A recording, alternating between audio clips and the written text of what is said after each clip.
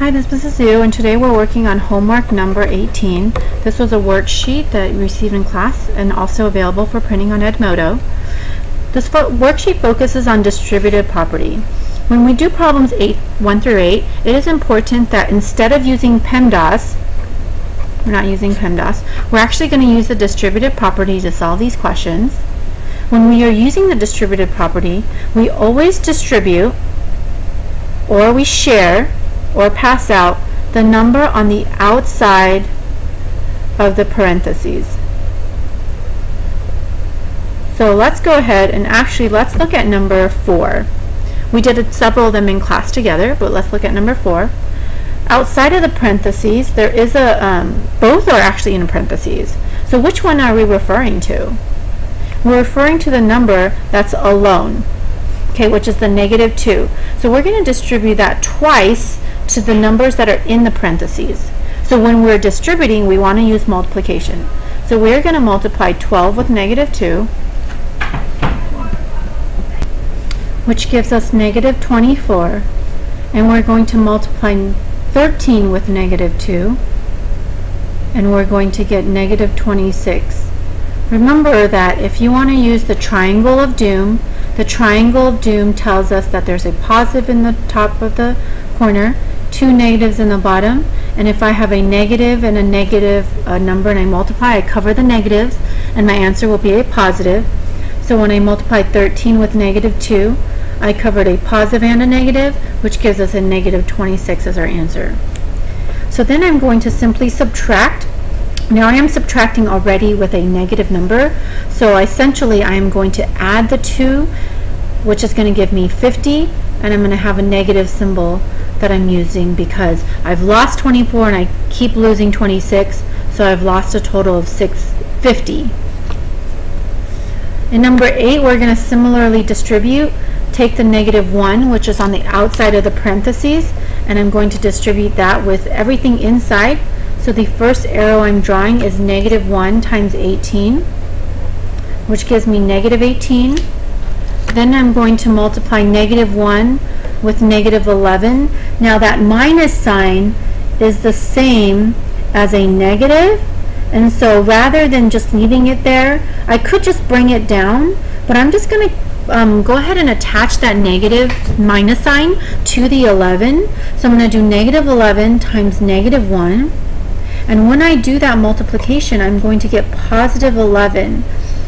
Um, if you don't choose to do the negative, then what you'll still get instead is you'll have negative 18 minus a negative 11.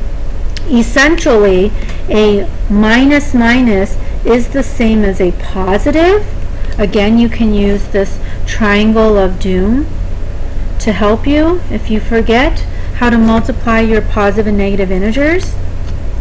And you are going to get negative and negative. Cover that up giving you a positive answer. And so that's why plus is the same as two negatives. So my final answer here is going to be negative 7. This is number 8. Now, in 9 through 16, we're still going to use the distributive property, but this time we're going to use um, see some variables in our parentheses. So starting from the first uh, problem, we're going to actually skip to number 11 that is a typo, so we're just going to get rid of that uh, backslash there. The number I want to distribute, I want to highlight that. It's going to be the number in the parentheses or the number by itself.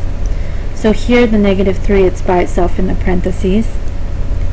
So I'm going to distribute negative 3 to v. So I'm going to do negative 3 times v. That's simply going to give me negative 3v. And of course, you can just kind of do mental math. Then we're going to do negative 3 times 5.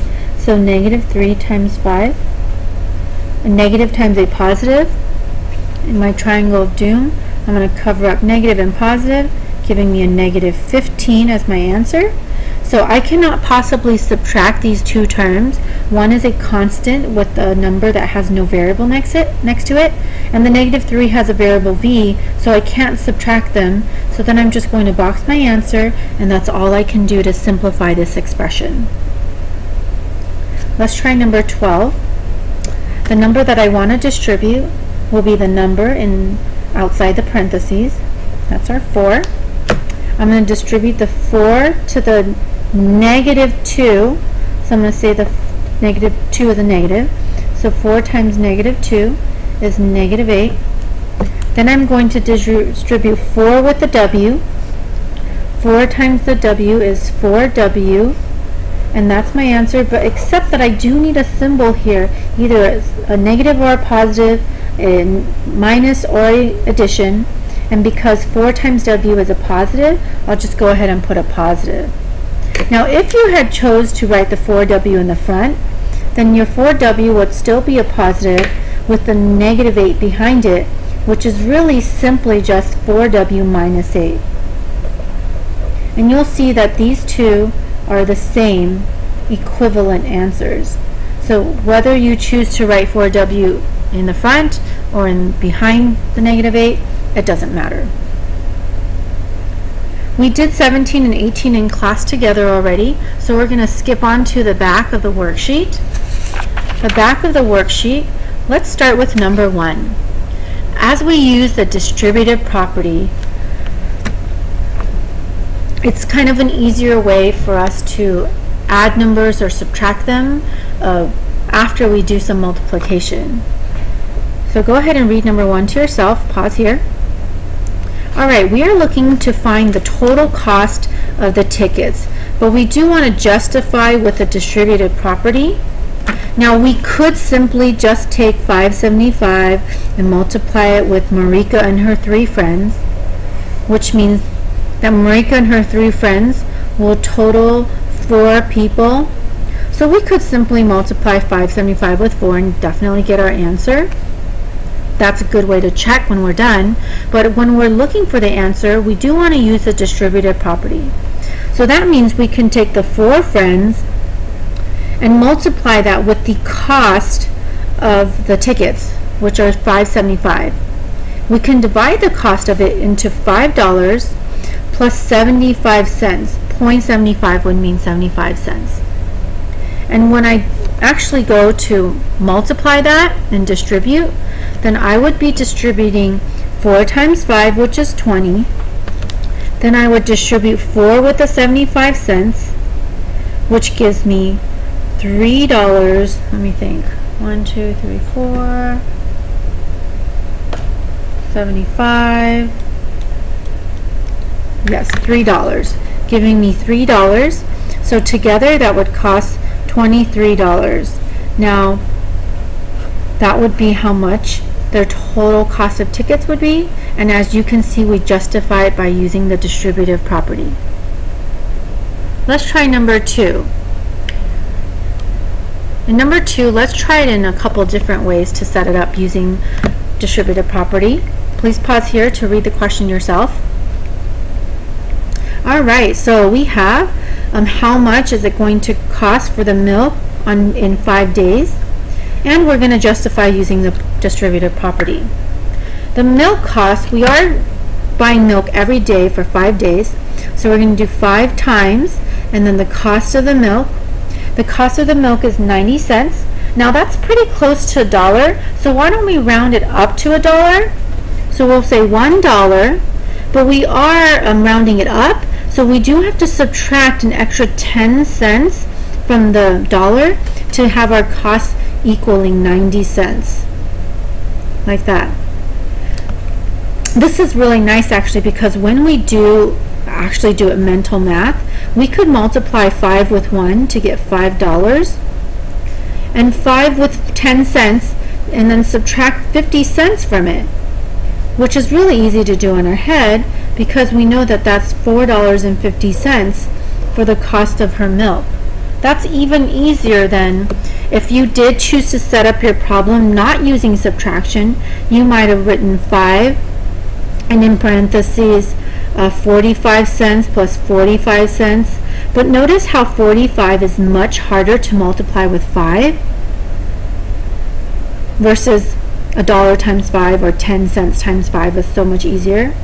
Some of us might have done 5 times 40 cents plus 50 cents and split it up into uh, 50 cents and 40 cents. That could be a lot a little bit easier as well because that would be $2 plus 250 giving us 450. So as you can see, there are several ways for us to justify using distributive property, but all of our answers will end up to be $4.50 total for that milk. I'm going to do number four, and that's going to be the last problem I'm going to do for this video, and you can definitely try the rest by yourself. It's pretty simple. Pause to read number four. In number four, the problem just splits it up for us into two parts where the first part we're writing the expression. Just like we did in number two, these would be three different expressions for this problem. And in number one, we wrote one expression here, 4 times 5 plus 75 cents. So we're just going to be write an expression. Now, the number of friends that are going is Coleman and his two friends. So there's a total of three friends, and each of them are going to buy one ticket, one hot dog, one fry, and one candy bar. So that they're each going to have a 7 plus 350 plus 225 plus 150. So that's going to be our expression because if I added all those up, multiplied it by 3, then I would be able to find out how much they are paying total. So then in B, you're going to actually solve that question. When you solve it, you'll get an answer, but I'm not going to tell you what. We'll go over it in class tomorrow. So don't forget, you have a quiz coming up, and study hard. See you tomorrow.